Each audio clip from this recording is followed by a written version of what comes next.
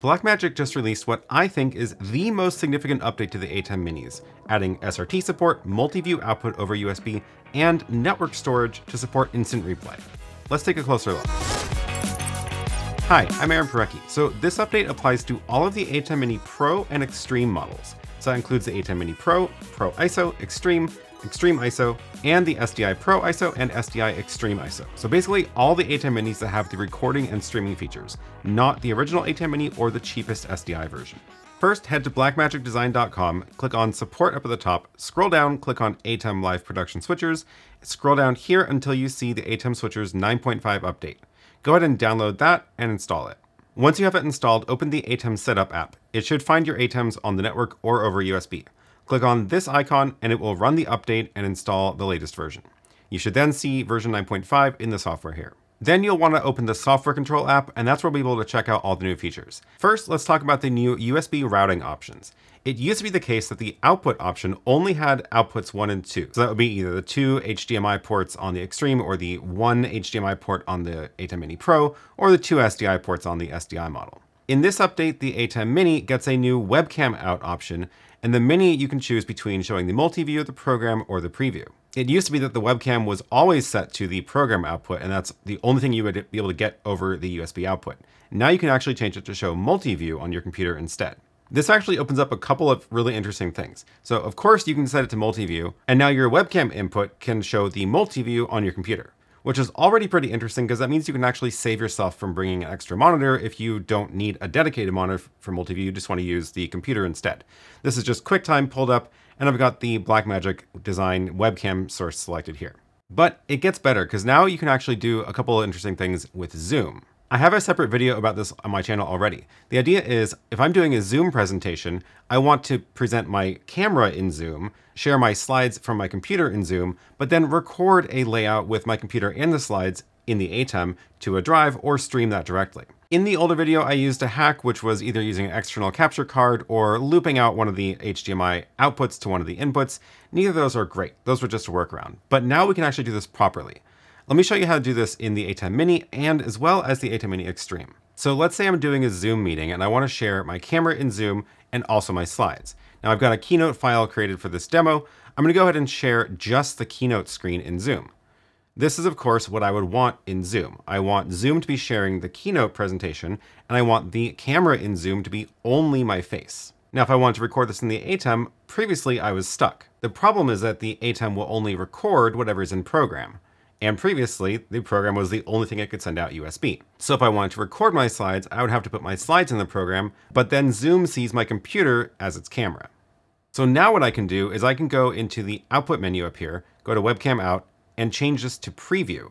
Once I select preview, as long as I make sure that my, my camera is on the preview, that's what Zoom will see in the camera slot. So Zoom is getting my camera feed, and the ATEM is recording the computer screen. Now to make this actually work well, I would actually need to use a second monitor and, and put the slides full screen on the second monitor. So let me go ahead and do that really quick. I'm gonna actually screen share this over to my Apple TV wirelessly. And now that I've got my screen mirrored wirelessly, I'm gonna set it as a separate display over here. And I'm gonna plug in the Apple TV into input four of the ATEM Mini. Now I can take my Keynote file and just drag it over to the second screen, make it full screen, and now I can actually go ahead and create a layout with a picture-in-picture -picture to make this work. So let me go back into the software control. Because the ATEM Mini doesn't have super source, the best we can do here is a picture-in-picture -picture layout. So I can go ahead and use an upstream key, set it to DVE, we'll scale down the camera to about a quarter of the size, make sure that's set to camera one, and let's turn that on air. If I didn't need it to be a rectangle, I can actually use pattern and make it a circle, for example. We can shift this over until it looks about in the right position. And then I will move this over into a good spot on my slides. Let's say it's the top corner over, over in the right. One other note about upstream key, this top row of buttons puts the upstream key on air and this bottom one basically controls preview. So with it not turned on, I actually do see the picture-in-picture -picture in the preview window. But if I turn on this button here, the picture-in-picture -picture goes away in the preview. So now I've got the clean camera in preview and I've got the layout in the program.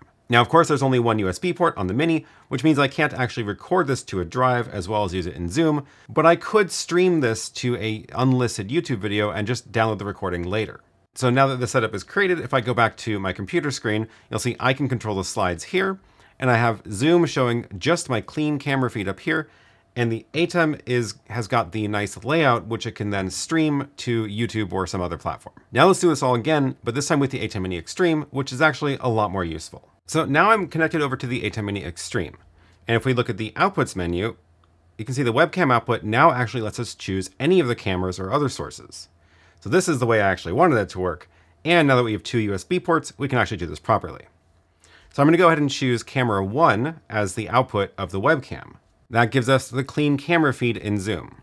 Now I can go set up a nice layout using the super source in the ATEM Mini Extreme. Let's first set the super source in program, and then we'll go configure it over here. So in box one, I do want my camera. Box two is going to be camera four, which is my slides. I'm gonna make sure it's not cropped and it's scaled down a little bit. So this looks pretty good. I'm happy with this layout, and this is what I want to record, but not send to Zoom. So back on the Zoom side, we see that Zoom has a clean copy of my camera because the webcam out is set to camera one. But in the extreme, we are recording and streaming the program feed, which is SuperSource. And because the Extreme does have two USB ports, one USB is going to my computer and the other is plugged into a drive, which I can now do a recording of. And because it's the Extreme ISO, I can do an ISO recording, which records a clean feed of my camera, the computer screen, as well as the SuperSource layout. So let's just do a quick recording in the Extreme and then we'll show you what the files look like on the drive, which actually brings me to the next feature. In the previous version of the ATEM software, the only way to get access to the files on the drive was to either physically remove the drive or use an FTP client. But now actually you can just go into Finder or File Explorer in Windows, and if you open up this network tab, you should see your ATEM Mini Extreme on the network now. I'm gonna go ahead and open that up, it connects to it, and now I see the drive that's plugged in. If I open that, I can now see that I've got all the recordings I've got on this drive. Here's the Zoom recording I just made, and we can see that the program file that was recorded is the super source, and we also have the individual ISO files of all my cameras. There's the clean copy of my camera, there's my other top down, there's the other angle, and of course the slides here. So it's definitely more convenient to be able to access this using Finder or File Explorer, but that's actually not the real reason they did this. The actual reason they did this is so that the ATEM Mini ISO can be an ISO recorder for in the instant replay feature in Resolve. I've done a couple of quick tests of the instant replay feature, and I do plan on doing a deeper dive video in the future, so make sure you look for a link below to that. So in a blank Resolve project, I can go ahead and click up here in the import media folder. And if I navigate to the network folder, go into the Mini Extreme, onto that drive, go into my replay folder and the video ISO files, I'm gonna go ahead and open this folder. My ATEM Mini Extreme is already recording to that folder on the drive, and now all of the ISO files are showing up in Resolve as in-progress recordings. And now you can see that in Resolve, you can see all the cameras recording live, and this is where I would go in and click Point of Interest, and this is how I can use the Instant Replay feature in Resolve, accessing the files on the drive plugged into the ATEM Mini Extreme. And the last feature in the update that I want to mention is of course the SRT feature. I actually have a whole video on my channel already that talks about the differences between SRT and RTMP in detail. I'll leave a link to that down below. But essentially, SRT means that the ATEM can now work a lot better in bad network conditions. It'll be much more reliable for streams and even lower latency. YouTube has also started rolling out limited access to SRT ingestion. I expect it'll be live on all channels in the near future. I've actually streamed via SRT to YouTube on my channel already, and so far it works great. So to set this up, Go over to the Output tab, click on Live Stream, and then choose Custom URL H264. It gives you a place where you can type in an SRT URL now. So go grab the SRT URL for your YouTube channel or whatever SRT device you're streaming to. For example, I could also stream SRT to my web presenter. So I can just type in SRT here, and then the IP address of my web presenter.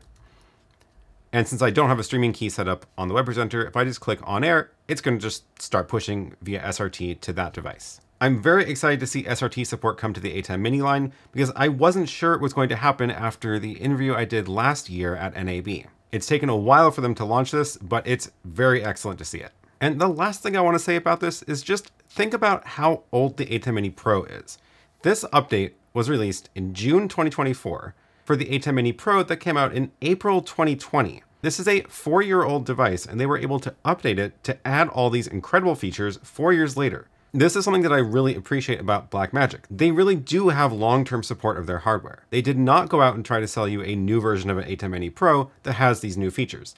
Instead, they just added it in a free software update. And I've said it before, but I'll say it again. The ATEM Mini Pro, especially now that it's $295 for the Pro, is by far the cheapest 4-channel recorder you will find on the market. Not only is it a 4-channel recorder, but now you can also mount that drive over the network and use it for instant replay workflows using Resolve. And that is your quick update on the new features in the ATEM Mini 9.5 update. Please leave a comment down below if you have any questions, or join me on one of my weekly live streams on Sundays for a live demo of any of these new features.